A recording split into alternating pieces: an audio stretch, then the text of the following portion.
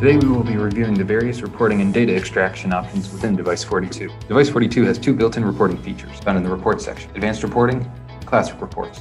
We'll start with Classic Reports. Classic Reports are a great way to create quick, simple reports. Hover over the Add Report button, select the object you wish to report on. Once the report has been added, you can export it or view it directly on the screen. The other built-in reporting tools are Advanced Reporting, which allows you to build reports, like this one, or dashboards, using drag and drop capabilities. Click this icon here create a new report, give it a name, place it in a folder, and you can begin selecting the categories you wish to report on. You can then configure any sorting or filtering options, as well as the layout of the report itself. You can then save it and generate a report as needed, export it from here, or create a schedule and have it emailed out to a list of addressees on a regular basis. You can also schedule reports with classic reports. Device 42 Advanced Reporting also comes with a set of predefined reports for many use cases. These predefined reports also make good templates to kickstart your reporting process. Simply select a report you wish to create as a template, duplicate it to another folder, and then make changes as needed. Advanced Reporting takes advantage of our SQL compliant object query language called Device 42 Object Query Language, otherwise known as DOQL. Device 42 exposes the schema information, such as the ERD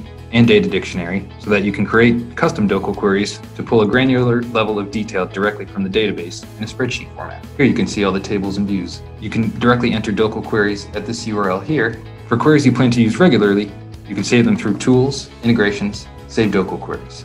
A query URL will be generated, which will then create a spreadsheet with the information from your query. Lastly, Device 42 has a fully documented RESTful API available at api.device42.com. Endpoints are broken out by object type on the toolbar here, and each example will include a sample API call, required and optional parameters, as well as sample JSON output. You can programmatically import, delete, or edit any information within Device 42 using the API. If you have any questions on reports, DOQL, or our API, please reach out to support at device42.com.